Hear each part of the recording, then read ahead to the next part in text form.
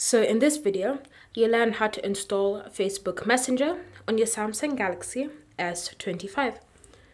So begin by opening the Google Play Store. And then from here, you want to use the search function and you want to type in Facebook Messenger. And then select search. Once you've selected search, you should see it listed here in the search results.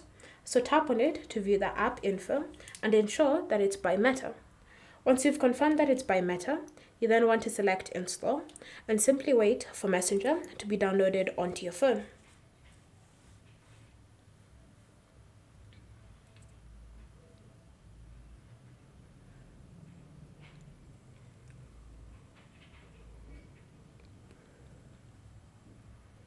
Once it's been downloaded onto your phone, you can then tap on Open to launch it, or you can just go directly to the home screen or apps drawer look for Messenger, and then tap on it in order for you to launch the app. And then just log in or create a new account, and you can start using Facebook Messenger on your Galaxy S25. Thank you for watching. If you have any questions or comments, leave them down below, and we'll get back to you.